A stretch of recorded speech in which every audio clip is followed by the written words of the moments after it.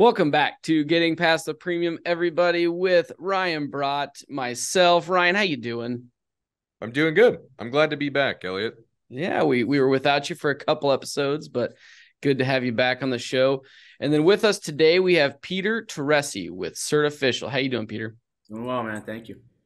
Good. Well, I'm excited for this conversation. You guys are doing some really cool stuff in the I'll call it insure tech space, but uh, you know what you guys are doing is pretty awesome. So I want to make sure we uh, give your background and how you got to where you're at today and who you are. So I'll kind of let you take that piece away and uh, walk the audience through what you guys are doing and how you got to where you're at. All right, cool. No, I appreciate it. First, you know, thanks for having me, guys. Really do appreciate the opportunity to speak, uh, joining the podcast, and and you know, uh, have access to the audience. So excited. Absolutely.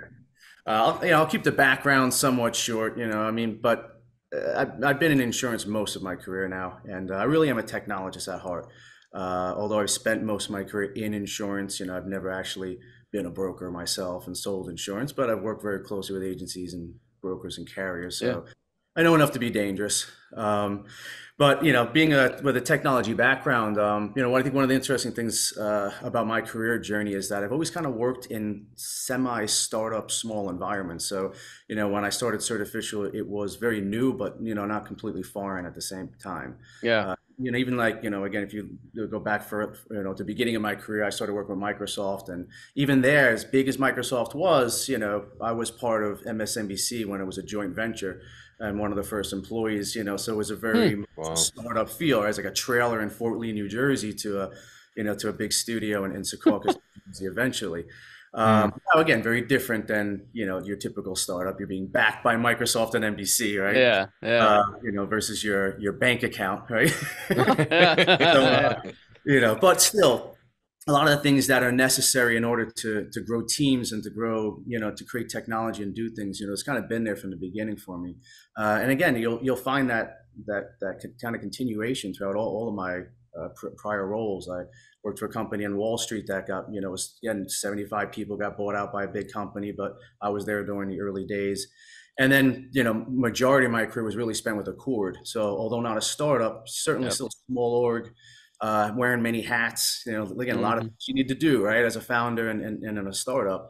Uh, and was responsible for standards globally. So it was really my time with ACORD that allowed me to get very close to working with, you know, actual insurance agents and brokers and carriers and really start to see the the inner workings of the insurance industry which looking at that through the you know the mindset and the view of a, uh, of a technologist is always yeah it's just endless opportunities you know it's a matter of really ideas. learning our industry and learning how it actually operates because yeah. you know ideas come you know there's many right like you know every yeah. you know it it's not hard to come up with ideas when you look at insurance and you see the way certain things work mm-hmm. um, the execution and how you actually plan to implement is probably where the, the the, the, real skill comes in right that's where the real yeah. like have to understand the inner workings of our industry um, because mm-hmm. it is complex right wrong or indifferent um, and getting things done in insurance is not easy right it's a task and timing right yeah. product market timing is, is another probably one of the biggest issues i couldn't agree more i couldn't agree more um, so yeah so you know with ACORD, um, i um, I started developing some tech there, and and um, and uh, eventually the the ACORD Solutions Group was created, right? And I kind of ran that as a CEO for a number of years and built some tech there, and glad to see that continuing to you know remain in production yeah. and some good things going on there. And you know from there it was just a matter of like, okay, I have worked with enough agents, brokers, and carriers at this point, and I've heard about this certificate of insurance, you know, because again, it's one of the earlier standards that come from ACORD. yep. and so you know, constantly, you know, hearing about the pains and the struggles inside our industry with this. And it's just one of those things that I just had some really strong ideas and, and, and thoughts on on how to solve and solution. And I think when I looked at the landscape of what was happening um, and, and the attempts that were that were, I would say, more like band aids to this problem. Everyone, it seemed like there was a little bit of a uh, disconnect in truly trying to tackle this from a foundational perspective and let's see if we can just patch it up all over the place. But it really wasn't making the process any better. Yeah. Um, and that's where you know certificial kind of came to fruition. You know that that was the, the vision from the beginning was to take a to take a different approach at this and be innovative in this space and, and, and transformative but again most importantly knowing our industry knowing how things are going to move this is not a light switch that's going to get flipped we're not changing overnight. This is embedded, never mind in insurance, it's embedded in every vertical and every business yep. intersects with insurance, right? the complexity of change management control here is, uh, you know, one of, one of the highest levels I've at least encountered and worked with. Um, and so, you know, you know, our ability to do that had to be very thought out from the beginning, you know, and that's, you know, again, that's kind of the background, right? Um, but when you did know, you start Certificial? We are technically going on like, you know, year four into five now. Yeah. That's um, what I thought. Yeah, so you know we had some some early prototypes in, in late late nineteen. Um, really went into production in early twenty twenty one uh, with like you know real like big clients, yeah. real production, not you know. Uh, yeah. And then yeah, it's been growth since then, which is you know we're proud of. That's awesome. That's awesome. Well, one of the things that maybe I'll have you dive into what Certificial actually does quickly because I think that's important. But want to highlight, you know, this this uh where we've gotten with InsureTech, right? When InsureTech first rolled out it was like the death of the independent agent right? And everybody wanted to displace this old industry that is you know uh, the independent agency channel right uh, go direct to the consumer um, i think that's certainly we've all we've all seen that shift there's there's obviously direct to consumer insurtechs out there yeah. um, but what I've been seeing is much more uh, around tools being built to support the independent agency channel uh, and to continue to allow us to uh, build those into our model to provide more value back to the clients. Um, and so that's where I'd be curious, you know, to dive into what Certificial does, but then what specifically were you trying to accomplish when you started Certificial? You mentioned some of the issues with certs and what you're trying to solve, which we've all experienced, but you know, maybe get a little more tactical there around how you're working to solve those for the independent agency channel. Yeah, it's it's it's interesting and it's you know the the, the view I have of this and, and the way we approach this is is really unique. Um, because on one on one hand, it's like really what we're trying to truly solve in the end is is the certificate holders problem, which is yeah you know, which is really the need, right? If it wasn't for certificate holders or people needing to verify coverage, this process wouldn't exist. Wouldn't, yep. wouldn't have a problem. Right? no one would ever create another COI again, right? Unless unless a cert holder asks for it, right? Yep. We're happy to get rid of this process, but you know, but that's not the case, right? And people do have a need for this, and so if you're not really solving that end point, and there's not a true success that you can say this is working for this end customer, then then really what have you solved? right you've just again you're just you know you're maybe creating efficiencies or maybe creating you know solving some journeys but again if it's all for the purpose of something that doesn't have true value then i say what's the point yeah. uh, and down honestly it's one of the ways i look at COIs. i'd say if, if we're going to keep doing what we're doing today the way this is being done i question why we continue to do it uh, because the amount of E&O exposure that we introduce into the insurance industry versus the amount of actual compliance a cert holder gets, I don't think the risk and reward's worth it. I don't think the time and effort's worth it. Uh, and that's why when I look at this, it, to me, it's, it's a foundational change. It's, it's, it's flawed at a, at a level that requires a bit of a whiteboard session. Um, but again, you know, knowing that we have to be able to evolve within our industry and not have a change that occurs overnight. So you know, with that said, you know, important to Certificial, of course, is the end customer and making sure that they're able to actually accomplish what it is that they set to do when they ask for a certificate of insurance. And you'll find as we get a little bit into our business model, we're actually funded by the risk management community.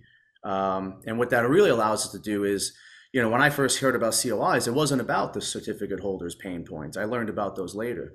What I learned about, you know, certificates of insurance from agents and brokers was the operational challenges they have, the fact that they're getting, you know, and I hear an agent say, I'm, I'm thinking of passing on a customer and not selling them insurance because they have too many COI requests and they have too many cert holders because they're doing so much business that there's nothing left in the premiums. There's nothing left in, and you know, and, and that makes sense for me to even write this customer. You know, like that's you know says something about the process. You know, like if we're actually turning away business because of COIs and because yeah. of certain requests is interesting to me.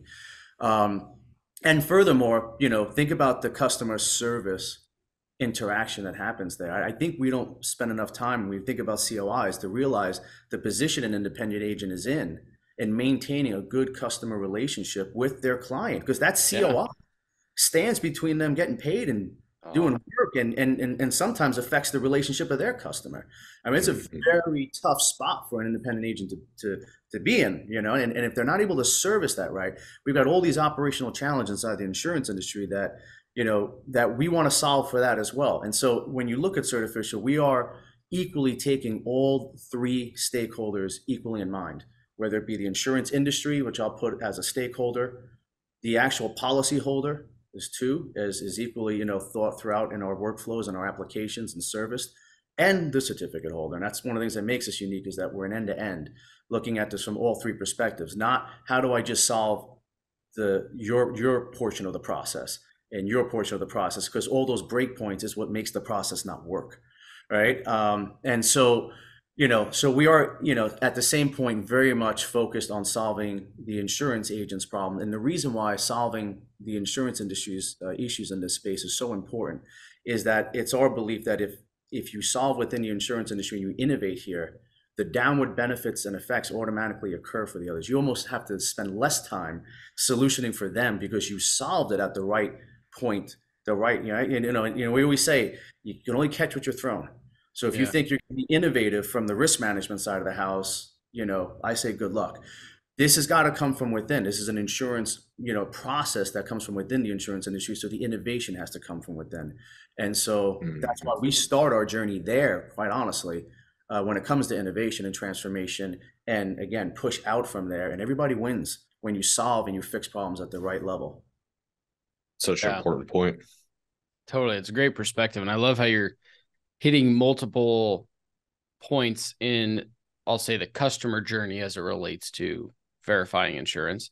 Yeah. Um, but dive into a little bit because I think it's super unique on um, how you guys are compensated for the product uh, and what that means for independent agents and the independent agents' clients, right? Because yeah. I think that's you walk through that and hit all three of those. Sure. Um, but now talk about who's actually paying for the product because this is very unique. Yeah. And so again, you know, kind of looking at our industry and saying, all right, well, if I'm if I need to solve a problem for the cert holder ultimately, um, then you know how, how you know what really if, if the innovation has to come from within the insurance industry then the way we looked at it is well let's empower the insurance industry let's give them the tools they need to actually service what the you know we call requesters on our system. We call you know cert holders requesters.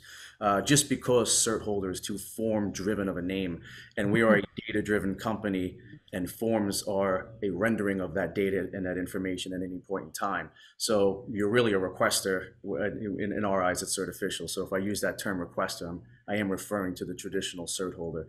But you know ultimately you know in order to do that we you know again we got to empower the insurance industry. So we came up with a model that you know we're able to to provide you know an excellent enterprise compliance management system to the requester communities um, and they're able to use us. And again we got legacy support in every aspect of our system right? That's how we know how we can transform and, and move into this process. You know for agents we have print support and for requesters we can process cois all that traditional stuff that goes on today.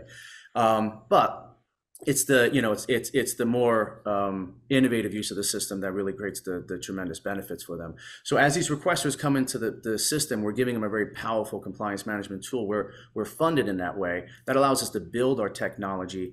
And what we built in the insurance industry is now an extension to both policy administration systems and agency management systems that um, creates an experience where you know we're not trying to create login fatigue here. We're trying to make it feel like you never really left your management system as much as possible so that you have a way of working on a client. And when you go to issue COIs or respond to requests, because we're a bi-directional uh, uh, platform, that the insurance agencies or whoever the CSRs, whoever's acting on behalf of that process flow, can just come into this process and very quickly uh, respond and, and, and get these COIs out the door. So in the insurance industry, we do not charge for anything that relates to issuing COIs. So it doesn't matter who's doing it. it. Doesn't matter if it's the agent, the CSR teams, or even the insured if they're enabled with self-service capabilities. As I mentioned, I said we have a insured stakeholder profile mm. in our system. So all of that is free because the way we look at it is the more the network gets fed, the more data that's on the network, the more we're able to solve not only the challenges that go on inside the insurance industry, but really feed into the compliance and the risk management community data and information that makes this process valuable and, and worthy. So we're funded on that end to really empower the insurance industry. And that's a model we're, we're proud of. And it's a little complex and confusing, but when you really think about it, it makes sense. You know, it's like, um, could we sell things in insurance? Absolutely. Uh, I don't want to. Yeah, and I really don't feel like going through a, another yeah. sales cycle on that, on that side. I just want to say, mm-hmm. here's the technology. We've made it available for you. Get the benefits, and uh, you know, and hopefully it brings it brings you know all agents and brokers you know value. Yeah, well, mm-hmm. absolutely. What I love about that is what you mentioned at the start. You know, you really wouldn't have this process if somebody didn't need to verify insurance coverage, right? So if the reason that we have to produce a certificate is because somebody wants to verify insurance coverage, that person, that end user, should probably be the one that is paying for access to that insurance information, right? Nobody's ever thought about that that yeah. way, uh, you know, but it makes a ton of sense. It's it's a service essentially that we provide our policyholders uh, to issue these, right? Uh, which everybody does, and you know it's part of being in the insurance cost industry. of commercial business. Yep, hundred percent. And uh, but but it's unique in that now we can use a tool that makes that process way easier on us, and, and not even from an efficiency perspective, which it does. But I think the bigger thing is what you hit on there the client experience, uh, making that process simple for your client, for then their who you know who they're doing work for or who they're sending the cert to uh, making sure that that process is simple and easy they can verify the coverage uh, very simply that they can get started on work they can get paid whatever it is um, and, and, that whole system now works more cohesively right and that's where i think it's so unique in the and the magic and what and how you structured that is so mm-hmm. I appreciate that. And you know, and, and, you know, one thing I want to clarify because it, it comes up in most conversations is if you if you're an agency and you're issuing your certificates through Certificial, if those cert holders are not utilizing Certificial for compliant management services, they're just looking for a COI. There is no charge to that certificate holder either. That is all free end to end because we don't charge for the delivery of a COI. Yeah. But we're actually our fees come in is when a cert holder optionally decides to join Certificial and utilize the compliance management capabilities of the platform, either on our, or, or directly on our system or through one of our partner channels. Um, and when they do so, that's when they become an actual paying customer.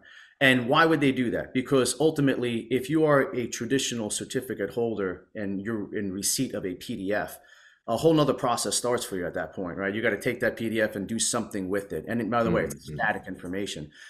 If you log into Certificial, because of the integration, because of the extension into the management systems, you're actually having access to the data that was used to create the PDF, not looking at data and taking it off the PDF. That completely takes that process inside out. So we're firm believers. The more COIs that get sent out, the more cert holders realize that they can actually have access to the data that was used to create the form rather than scraping it off.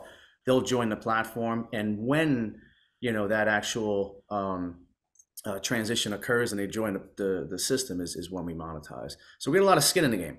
Uh, and it's very mm-hmm. important for us, you know, and we don't, and, and, and also that model is very important because we, we cannot introduce any additional friction into the process flow if you're an agent and you got COIs and you know, oh, now the cert holder needs to go even even create an account in Certificial to download the PDF, that's a problem.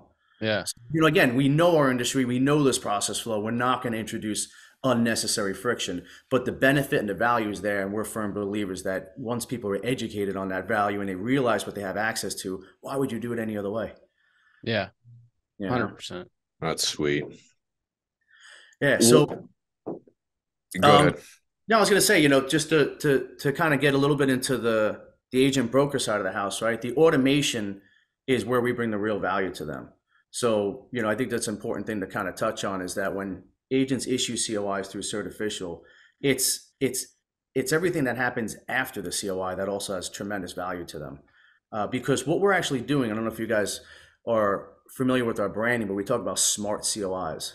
Mm-hmm you know what makes a COI smart, right? It's uh, it's the fact that it's actually automatically versioned out and automatically updated without the need for any manual intervention. Which, by the, the way, is an idea that's like 50. I'm glad you you built it, but it's shit, right. it's like 15 years late, right? You're like, oh, yeah. how does this not have existed for like ever? Yeah. well, like Ryan said, it's timing, right? Yeah. uh, you know, you're right though. It should have been done 15 years ago. I couldn't agree more. There's been so there's been more ideas that have failed because of timing in our industry than right. like ideas that have been successful. Just with yeah. how archaic our mindset is. But and, and, it's a lot of what we're talking about too. It's also the model, how you implement it, who pays for it, how do you get it into use and practice. I mean, all of these things make or break, you know, these these solutions. They're not bad ideas. They're they're just, you know, difficult to implement and difficult to get traction at times. Mm-hmm.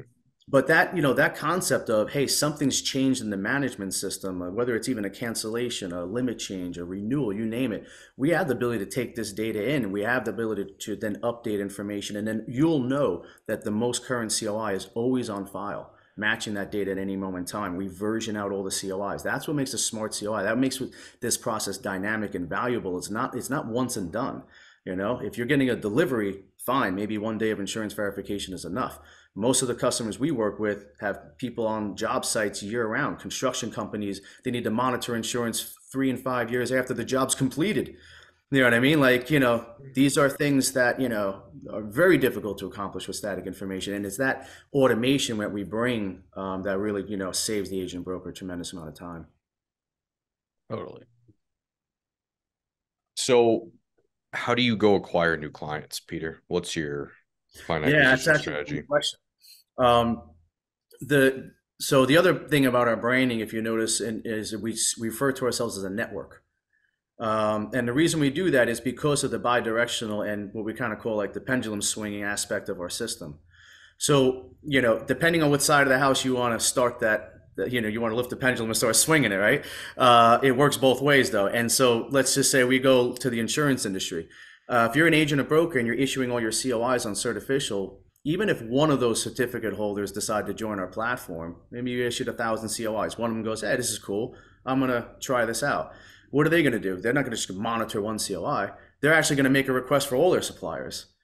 So next thing you know, 200, 300 requests because they work with 300 suppliers go out the other way, right? 300 agents get introduced to Certificial and go, oh, what is this?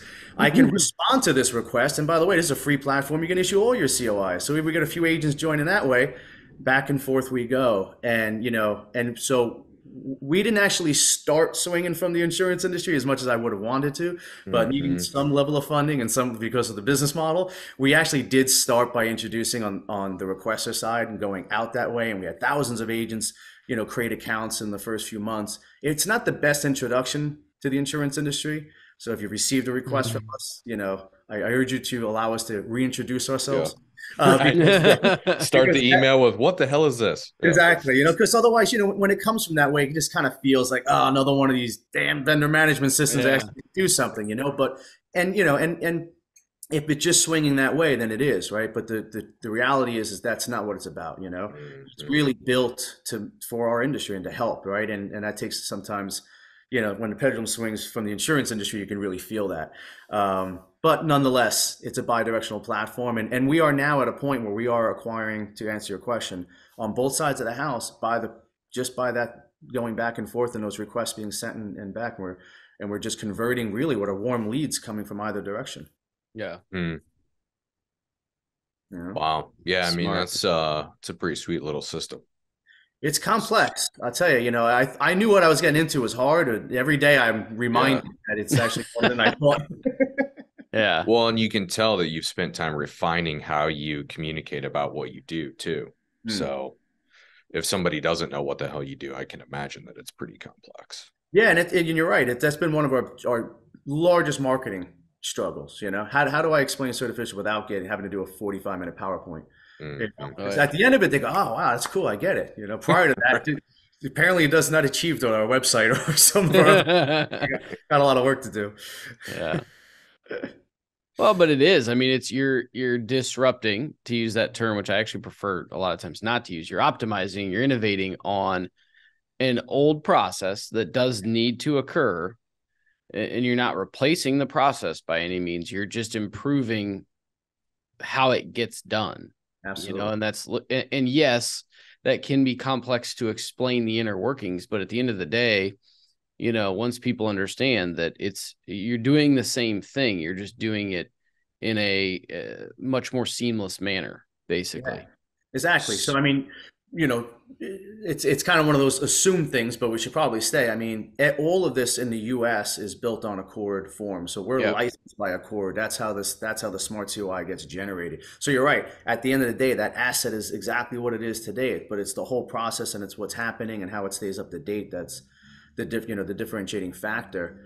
Um, and if anything's being disrupted, it's the it's the communication mechanisms that are that are really making this process inefficient email, fax, you know, because you know, physical mail. I mean, I hate to say that these things are still being used, but you guys know as well as I do. Oh yeah, it's heavily sure. heavily in use, which is crazy.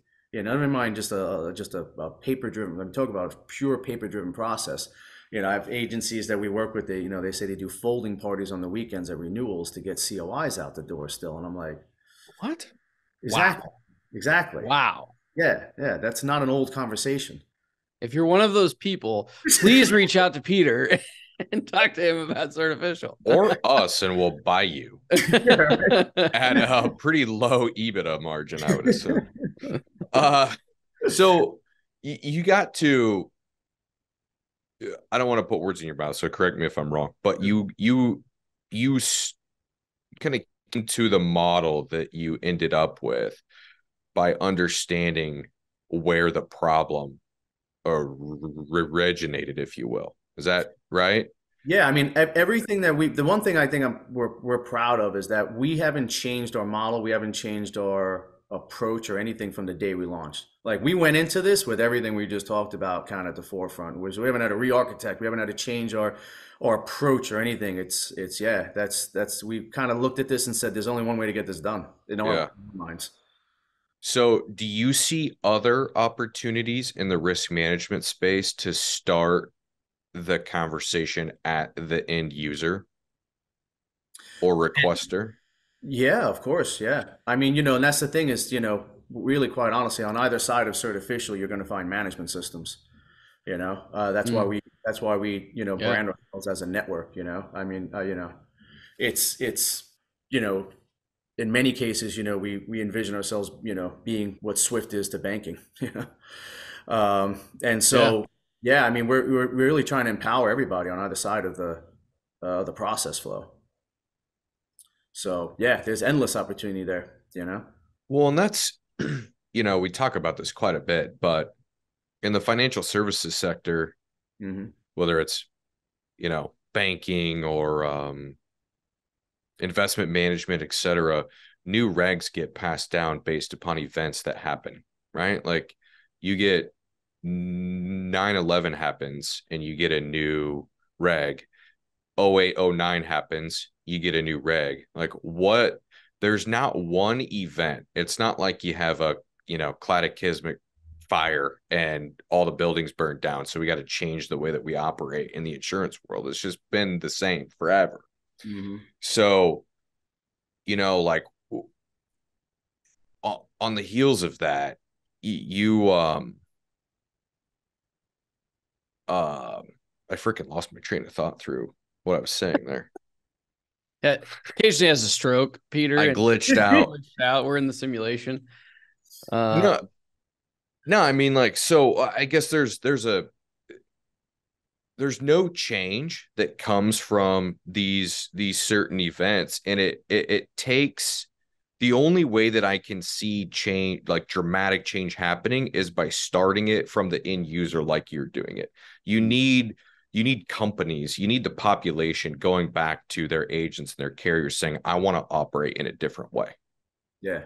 Yeah and and, and it is happening. And there's a lot of valuable information that we're we're, we're now being able to obtain um, because we have a greater level of transparency between the insurance industry and the risk management community. There is information that is able to be shared now that really should have always been, but you know isn't maybe yeah. always. Uh, I'll just give some examples of that. I mean, you know, the way we've structured our stuff, like all the insurance requirements that are buried in MSA contracts right now, like we don't have any of that data inside the insurance industry, at least not in structured data format where we can do anything useful with. A big part of what we do as Certificial is making that available to the agents. And you know, and it's detailed, right? It's very granular. It's if you can if you can ask for it in a COI, you can ask for it in insurance. It's it's a requirement that we have in structured format. And you know what that's hmm. allowing is, is, to really look at um, a few different things. You know, the process flows because we're working with both sides. I mean, going back to my ACORD days, like we're creating another layer of standardization too. You know, helping people understand what's actually a line of business versus a coverage uh, in some cases, and you know, and, and and you know, because these COIs get filled out with ways because that's how the cert holder wants to see it, not actually what it is in insurance. Um, yeah. And so, you know, we're helping, you know, iron out a lot of that kind of stuff. But the data piece is the more exciting part uh, because we are at a point, you know, where we're working with some really cool data and analytics and helping insurance agencies look at their customers and say, are they actually have enough insurance based on the agreements that they've signed with their customers? Um, and or if they were to make a change to that insurance, how would that affect their current compliance status? You know, I mean, so you're literally taking the you know the detailed information that lives in all these compliance vendor management systems right now and putting that at the forefront into the agency management system as a cross sell, upsell, or just better way of retaining and providing customer service. You know, that's just one way in which this process starts to create ways in which we can spend less time, you know, folding COIs and putting them in the mail, and more time creating, you know, value added services that really, you know, empower the independent agent channel to say, yes, that's why I work with an independent agent you know, because I'm never going to get this level of insight and analytics into all of these things and know that I am actually protected as an insured. Uh, never mind just a cert holder, knowing that I, I have insurance for them, you know? Totally. So I just want to make sure I understand this. I'm following you correctly here. Sure. and because I'm stuck on what you said a couple minutes ago. So you're taking the insurance requirements in the contracts from the requester, the cert holder. So they have a contract with a general contractor who's our client or whatever, you're having them put that into Certificial and say, you're going to send this contract, but then we only have to look in Certificial to understand what's the insurance requirements in that contract that, you know, we got to make sure our client or actually Certificial does it, but, you know, make sure that they're in compliance with. Is that accurate? Yeah, it's exactly accurate. We work with all of our requesting companies and we've got complex workflows. Like we have, uh, we have organizations that when they do, you know, again, depending on the the the view you look at this, everybody gets a different name. So, you know, you may work with a company that says, I got a supplier enrollment, right? But clearly we say supplier, we're referring to the insured or the policyholder. Mm-hmm. But in their supplier enrollment processes, they'll answer certain questions. And based on that, it builds out the insurance requirements and creates the request for insurance. So in many cases, we can even get very customized. Uh, whereas, well, you're on site, so that means we're now going to add in crime, and based on your location, you're going to need a limit of X. Versus you're not on site, so we don't need to ask for crime. Like we've got all this built out, and that's how we're able to get to that structured, you know, level with the with the insurance requirements um, because it's designed that way. Well, because uh, one of the things that you know we end up dealing with um, is you have to have somebody on your team that your client's going to send the contract and say, "Hey, am I in compliance?" You got to have somebody review that, and not every contract's the same. And yeah, it just takes time to dig through that. Yes. Um, so we can yeah, we eliminate that for our our partner network, and then we actually you, you mentioned at the, at the forefront of our call, we were kind of doing like some intros AI, right? So you know. Yeah built AI. So again, because we always support for on and off network transaction. So on network transactions, this is done out of the box. Off network transactions, we actually have a tool we built for AI to actually extract the insurance requirements out of those contracts you're referring to, um, wow. so that you know you know we don't have to wait for every last transaction to go through Certificial in order to know we are, are able to store all the insurance requirements for a given hmm. client. I did not know that. Yeah. It's a That's pretty cool. That's huge from a from an eight because that also decreases E and O. Oh yeah, um, massively, and just the efficiency. Like I said, I mean, it takes you know well, you get a standard reviewing ins- the contracts. Yeah, you get a standard insurance or, or a standard contract in, yeah. and you know those are pretty easy if they're if they're truly just the basics. Uh, right. Uh, you can get through those pretty quick, but you start to get some that have slightly different wording you know they've added in a couple things that you don't know if it really applies or not it just takes you got to have experience you got to go through a lot of those to really understand them which takes tenure on your team or a lot of training and that's yeah. just difficult for independent agents to do we battle it i know i mean you know you almost think like i got to find somebody with 20 years experience in the industry to be able to help me through these because they just they need that yeah. Um, we were looking at some contracts yesterday that we were running some extraction services on, and and you know, and and staring at a sentence for 10 minutes, you know, like, I don't know. yeah. Because that's the problem with some of these, you know, it's, it's training the tools and, and working with it. It's, it's not easy. It is complex, you know, but there's all different mechanisms and, and, and, checkpoints in place and also ways to flag things so that, you know, if it does require human, human intervention, it's not a problem. But if it's on 20% versus 80%, then it's still a tremendous savings, you know, and in the end, you know, you can tweak something and then get it so that you do have all those insurance requirements there. You know, yeah. and hopefully we get those cert holders to join the network, and we don't have to get any more MSAs from yeah. them. They'll come through the the the way that you know the current the current uh, requesting channel does today. So yeah, it's it's there's there's a lot there. But you you touched on E and O, which I wouldn't mind building off of if you don't mind. Yeah, absolutely. Um, because one of the other things that we're doing here that you know again i don't think people see the coi process but they forget about all these other touch points they forget about oh yeah it takes you 45 minutes to read an msa before you can even start the process of issuing a coi yeah right so it's msa like, by the way is master services agreement just yes. for anybody out there that doesn't know. Keep going sorry. Yeah no no it's it's it's a good point. We that's another thing that our industry is, is riddled with is acronyms that acronyms, we think yeah. um and so uh on the on, on the uh, think about schedules for a second right? So you know even managing schedules i see what agents and brokers are doing having email spreadsheets out and are you still working with this cert? Holder do you still have this equipment? You know what i mean? All this mm-hmm. other stuff right? And then you know all this stuff is manual. Like we've actually have this built into our our system where insureds can actually help manage schedules, manage, you know, have access to all this information. We can then get that, you know, you know, if they can mark it for deletion, we can get it back into the management systems. The management systems will then communicate to Certificial and say, hey, by the way, that piece of equipment right there is on 25 of the 100 certs that were issued. Let's get it out of there. Hmm. And automatically go back to the smart COI. We just versioned out 25 yeah. COIs to remove a piece of equipment that was once evidence on there to make sure because it's now marked for deletion we get it out of there so even schedule management i mean there's a whole life cycle to this stuff that creates manual work that's very disjointed and disconnected today because it's being done on spreadsheets, it's being done in inefficient ways, but it's also introducing and growing that E&O exposure because we don't have a great way of constantly updating it, you know, and that's, mm-hmm. that's one more example of the automation aspect that we've built out.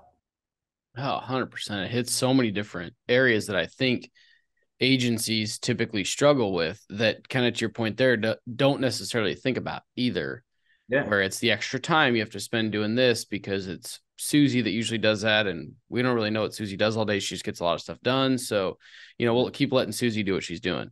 Um, and you know, you don't realize that Susie's spending half of her day trying to figure out these contracts to send certificates out or whatever. Yeah. Um, and then yeah, all the ancillary impacts. That's that's pretty cool. That's way more than I I realized you guys were doing.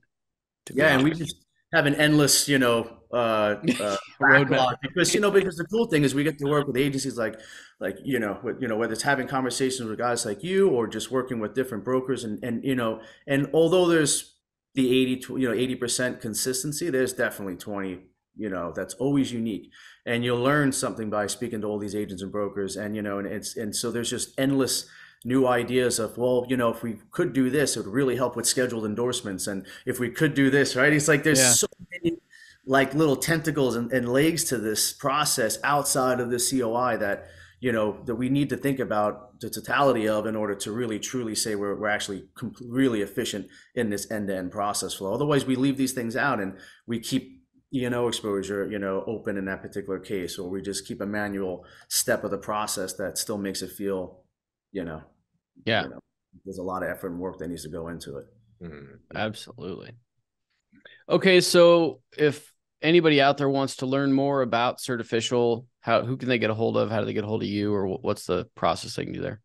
Yeah, so you know, I mean, I would say always just hit the website uh, www.certificial.com. Uh, you know, there's an about us, a contact us. You know, um, they're always welcome to to reach out to me. But you know, there's there's email addresses up there that you know for sales or for info and signing up for for you know newsletters or whatever the case may be. So definitely urge you um, to take a look. You know, especially to the agent broker community. If you're looking for self servicing for your clients, if you're just looking to improve your own operational.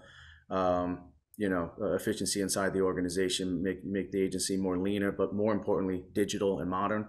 Um, these tools are available. They're available for free. There's like there's yeah. no reason not to leverage them. You know.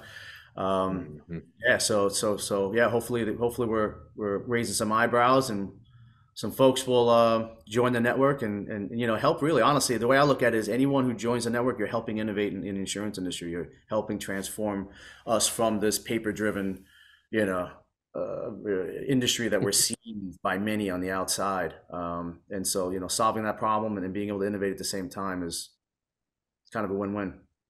Yeah, for sure. It's awesome, dude. And so, um, everybody check out Certificial. We're running a pilot, I know, right about now, uh, with Peter and his team. Um, it's been pretty awesome. So we're excited about where we can take that. Um, and yeah, reach out, learn more. I think it's it's pretty awesome what you guys are doing. So thanks for coming on today, Peter. Yeah, listen, can't can't thank you enough for having me. Appreciate that, and hopefully we'll do a follow up one uh, in the future. I'd love to, man. Love to. Absolutely. Excellent. Nice thank to meet you, Peter. Appreciate your time. Likewise. See you guys.